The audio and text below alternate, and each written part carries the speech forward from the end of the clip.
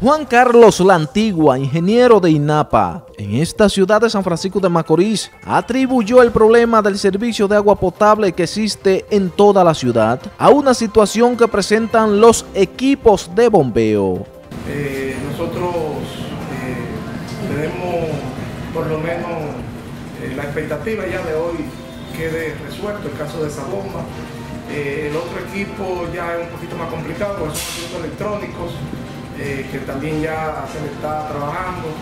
Es decir, que esperamos que el servicio ya se normalice, eh, por lo menos ya lo más pronto posible, porque sabemos que hay una situación un tanto incómoda, con bastante deficiencia en algunos sectores, pero estamos trabajando arduamente para resolver esa situación. NTN, su noticiero regional, Robinson Polanco.